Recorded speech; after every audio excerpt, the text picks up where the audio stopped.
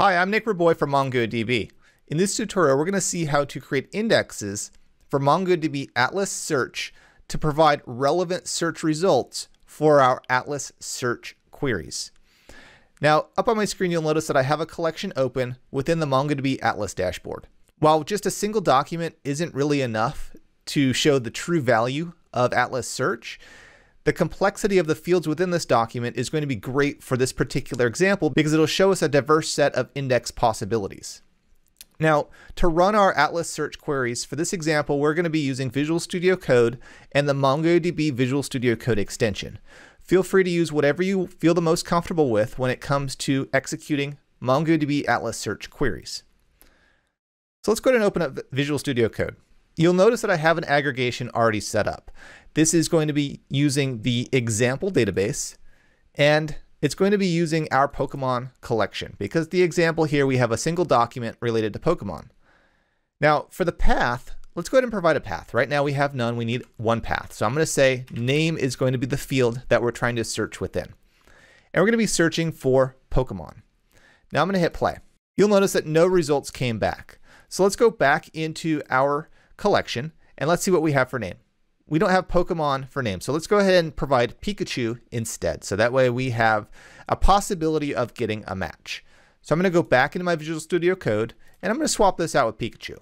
And just for the sake of matching, we're going to say Pikachu with a capital P, even though it's not necessary. So I'm going to hit play and you'll notice that no results came back. And the reason no results came back is because we don't have an index defined that represents this particular path. But in addition, we actually don't have any index defined at all. So let's go ahead and create a new search index for this particular collection. So let's go ahead and say create search index. And for this example, we're not going to be using the visual editor. We're going to be using the JSON editor. And I'm going to say next. Now this is what we get uh, by default. And what we could do is we could use this default index and it would work for us. So to break it down, what we're saying is we're saying that the mappings are dynamic true. So when we say dynamic mappings, what we're doing is we're saying that every single field within that document is going to be indexed. So that way, if we wanted to search against name or one of the other fields in the path, it would work. But let's go ahead and give it a try. So that way we can see what we're working with. So I'm going to say next, and we're going to say create search index. And it's going to take a few moments to create. So now we have our default index, which just has dynamic mappings as true. And it says one document is included in this index. So let's go ahead and go back into Visual Studio Code and see what results we get as of now.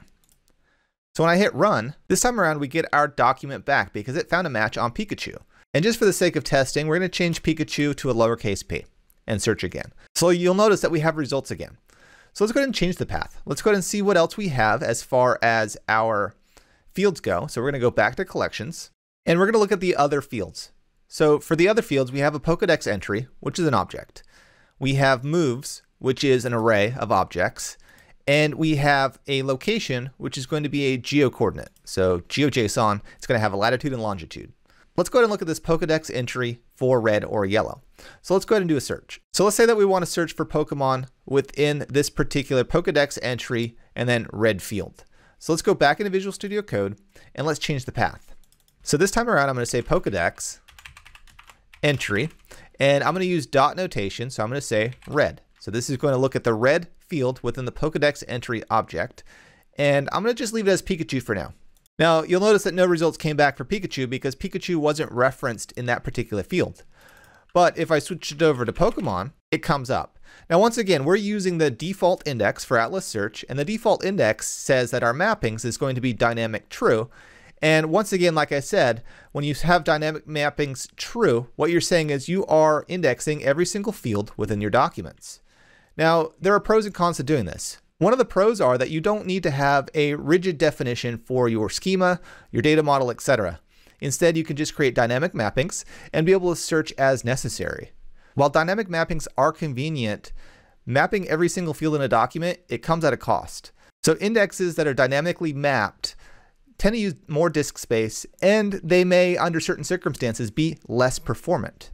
So what we can do instead is we could actually use static mappings within our index to define specifically which fields we want to be able to search on with Atlas Search. So let's go back into MongoDB Atlas. So this time around, let's go ahead and click on Search Indexes, and we're going to create a new index. Once again, we're going to use the JSON editor, and we're going to click Next. Now, for this particular index, let's go ahead and say that we want to call it custom. The name does not really matter. It's just whatever makes the most sense to you. So rather than saying dynamic true, this is where we're going to customize what exactly we want to search against. So let's say that we only want to search against the name field. And while our document may be however large when it comes to the amount of fields that it has, we're only ever going to be able to search against the name field. So instead of dynamic mapping true, what we're going to do is we're going to say dynamic mapping is going to be false, and then we're going to specify the fields. So we're going to say fields, and the fields is an object, and this is where we get into the fields of the actual documents. So we want to index the name field. So we're going to say name, and name is going to be an object because we want to be able to specify, well, what type is this particular field, and what are the search options that we want to use. Now for this particular tutorial, we're not going to get too invested in what the search options are. We only want to specify the type of field so that way we can search against it. So I'm going to say type, and the type is going to be a string. And I'm going to say next. And I'm going to create that search index. And it's going to take a few moments to create. All right, so the index is created. Let's go ahead and go back into Visual Studio Code. And let's go ahead and change some things around. So first of all, we're using a custom index at this point. We're not using the default index. So what we have to do is we have to specify the index that we want to use when using Atlas Search. So within our aggregation, within the search operator, what we can say is we can say index, and we called our index custom. So to start, let's go ahead and run our aggregation the way it was last time. So we're going to still search against the path, Pokedex entry red, and we're to search for Pokemon. Now remember, the last time we ran this, it returned results. So I'm going to hit play. And we have no results this time around. But let's go ahead and make a change. Let's go ahead and say that we want a query for Pikachu. And we want to change the path to be name. And we're going to hit play. And this time around, it returned results because name is within the index. And we have a document where the name is Pikachu. So let's go ahead and change some things around again. Let's go ahead and say that we want to index more fields within this particular collection. Let's go back into the MongoDB Atlas dashboard. And this time around, what we're going to do is we're going to change our index. So we're going to say edit, and we're going to edit with the JSON editor. So we have name being indexed. That's great. Let's go ahead and add to it. Let's say that we want to index the Pokedex entry. So we're going to add another field. So I'm going to say Pokedex entry. And this is an object once again, so that way we can define the type and other information. But what we're going to say is we're going to say type, and Pokedex entry is actually an object. So because of that, we're going to say document. Now, this is where things can get a little interesting. So you can actually have dynamic mappings on certain fields, but not all fields within your search index.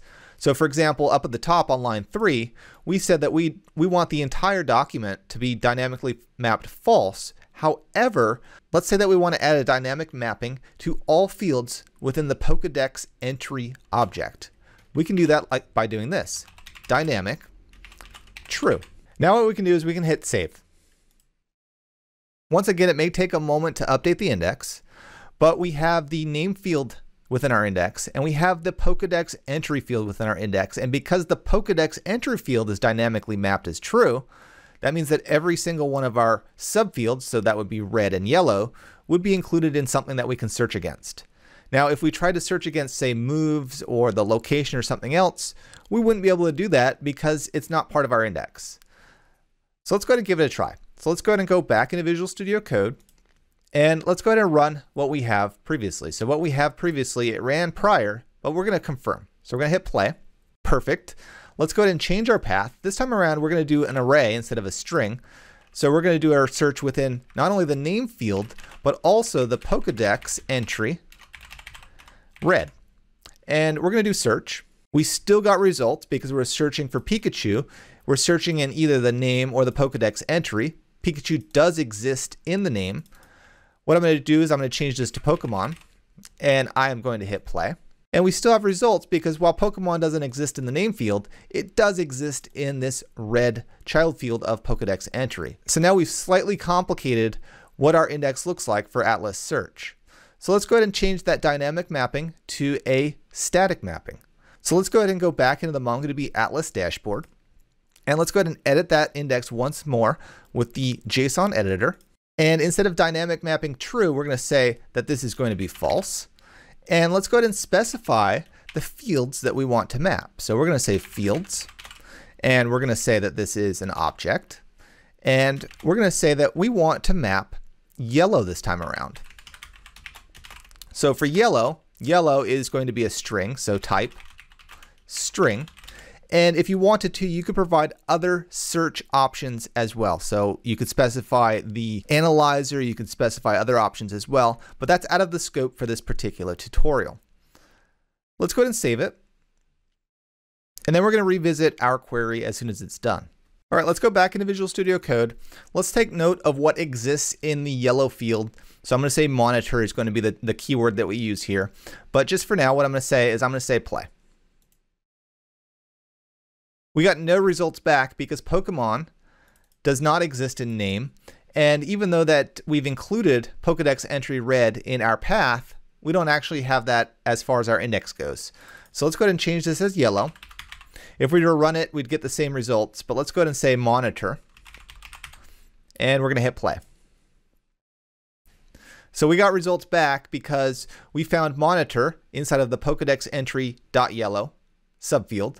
Uh, it doesn't exist in name, but that's all right.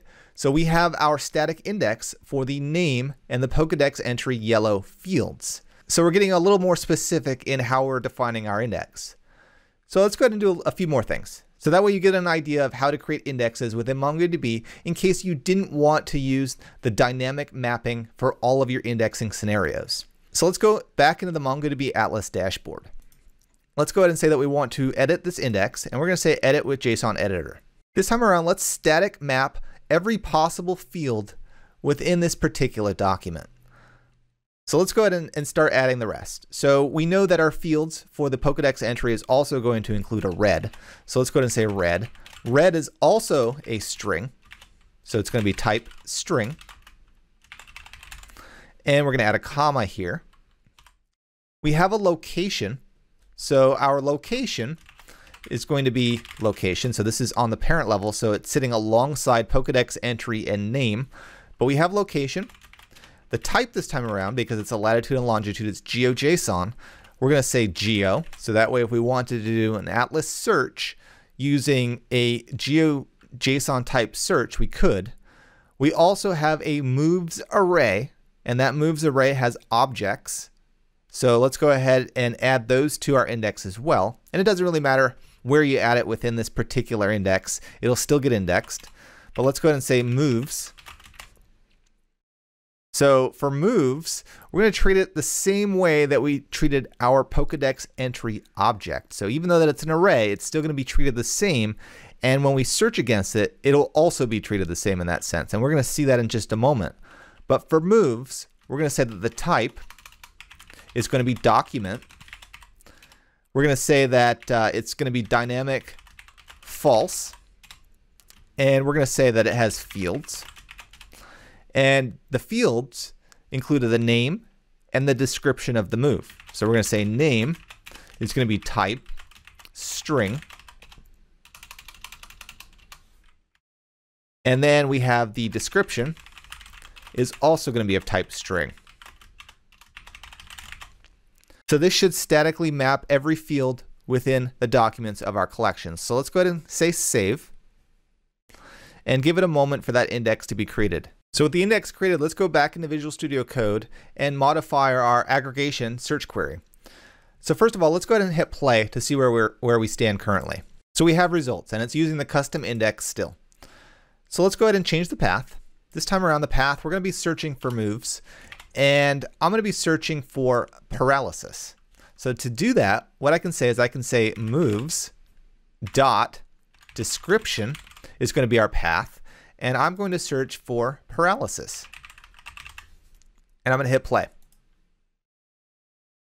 So you'll notice that we have a result back because even though we use dot notation and this is an array, we can still search within the fields of that object the same way that we search for fields within that Pokedex entry. Now, if I wanted to, I could provide an array for this path. It's totally up to you. I've decided that I only want to search for this particular set of fields within the path. It's totally up to you once again, uh, but it should give you an idea of what these indexes look like and the search queries that you can run around them. So once again, we got a gentle introduction to indexing for MongoDB Atlas search, we saw a few different scenarios using dynamic mappings and static mappings and kind of the trade-offs between the two, whereas dynamic mappings are convenient if you don't have a rigid defined schema for your collection, but it comes at the cost of your indexes might be a little larger in size, uh, they may be less performant, and then if you do know the fields that you want to search against within your collection, you could use a static mapping and define those fields one at a time. But at the end of the day, you could do a mix and match approach. You could use both static and dynamic mappings within your application and be perfectly fine. So it really depends on what you're after, but at least you should have a few ideas on how to actually create those indexes using the JSON editor within the MongoDB Atlas dashboard. If you want to find more tutorials on MongoDB Atlas search and other topics, go ahead and swing by our developer portal. So it's developer.mongodb.com and stop by the MongoDB community forums as well. So you, if you have a question, if you got stuck, go ahead and drop a new thread in there and somebody will pick it up. Until next time, happy programming, everyone.